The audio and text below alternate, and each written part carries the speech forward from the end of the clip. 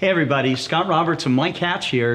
And we're real excited today because we are uh, here at the American Astronomical Society virtual conference and we got something new to show, okay, which is really cool. What are they, Mike? So we are introducing, well, we have the privilege to be the distributor for pulsar observatories here in the United States.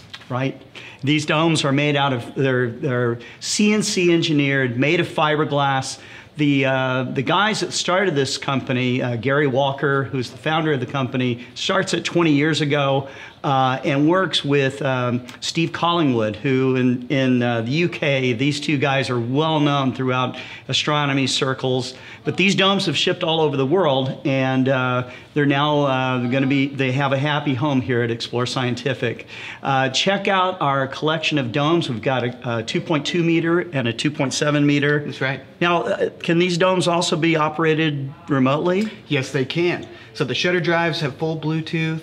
Um, Okay. We've got the drive to uh, rotate the shutters and the actual dome itself. Right, and So- they, I, from what I understand too, they operate off of ASCOM. Yes. So that's a, so the electronics, everything about these things are rugged. Uh, it's something you're going to be proud to own because it not only looks beautiful, but they work extremely well.